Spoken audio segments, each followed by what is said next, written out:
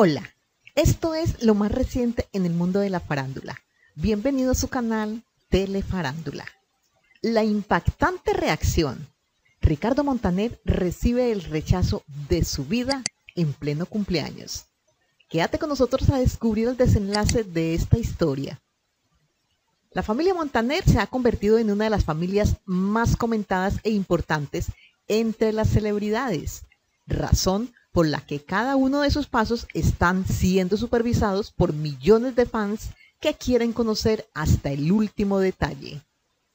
De hecho, un detalle que hasta hace poco no había sido comentado fue el rechazo que vivió Ricardo Montaner en su cumpleaños 65.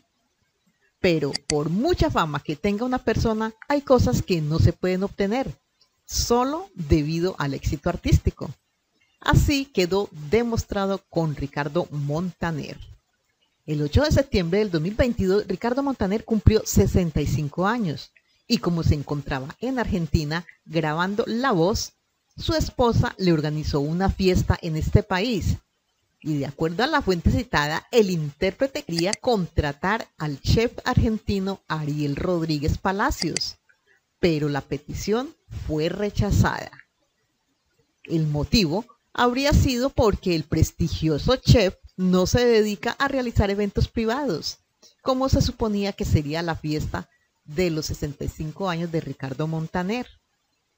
Ariel Rodríguez Palacios tiene un programa de televisión en el canal argentino Telefe llamado Ariel en su salsa, el mismo medio que transmite La Voz donde participa Ricardo Montaner.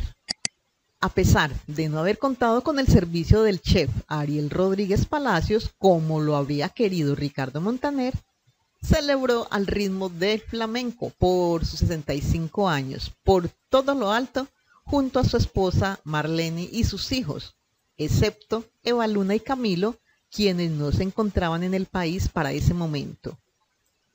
Gracias, amada mía, por esta hermosa celebración. Feliz cumpleaños para mí, escribió Ricardo Montaner, a pesar de no haber contado con los servicios del prestigioso chef argentino. Déjanos tu comentario acerca de esta noticia. ¿Quieres más contenido? Dale al like y suscríbete. Active la campanita para mantenerte al tanto con todas las noticias de la farándula.